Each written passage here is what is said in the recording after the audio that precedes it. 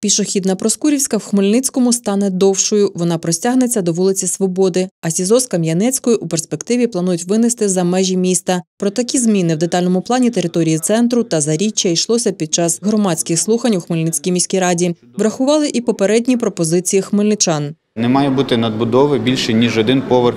До речі, теж це пропозиція громадськості. У нас було зазначено два поверхи. Ми все ж таки вирішили, що буде правильніше і доречно все ж таки робити надбудову в один поверх. На площі в 170 гектарів наразі мешкають майже 19 тисяч хмельничан. Хаотична забудова та відсутність місць для паркування – основні недоліки, які виявили під час створення проєкту. Нові паркінги зводитимуть за нормами ДБР 2019 року. Буде е, влаштована санітарна захисна зона е, там, де пригма прес, тому що тут буде багаторівневий паркінг, причому і підземний також.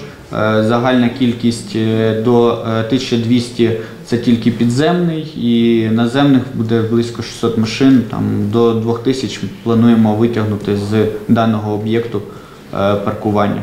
Зелених зон у центрі недостатньо. Раніше створені парки і сквери не збільшуються. Вік насаджень складає 40-70 років, трапляються дерева довгожителі.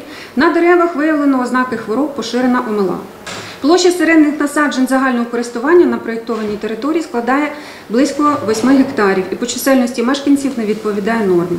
Науковці Хмельницького національного університету розробили стратегічну екологічну оцінку проєктів. Це взагалі така процедура, яка минулого разу не була врахована. Проектом передбачалось е, знесення зелених насаджень, які йдуть вздовж вулиці Пушкіна.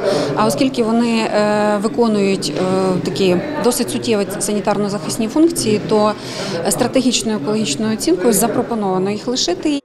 З'явиться у місті і новий мікрорайон Заріччя, де наразі немає жодної забудови. Нещодавно там виявили унікальну знахідку курган. А відтак на 25 гектарах облаштують парк. Спочатку мають зробити усе, аби уникнути підтоплення та ерозії ґрунтів. У планах зведення багаторівневого паркінгу на 4 тисячі місць. Тут і зелені насадження, і ТРЦ е, е, парковка, е, і навчальні заклади, дошкільні заклади, а жовтим це виділено житлова забудова.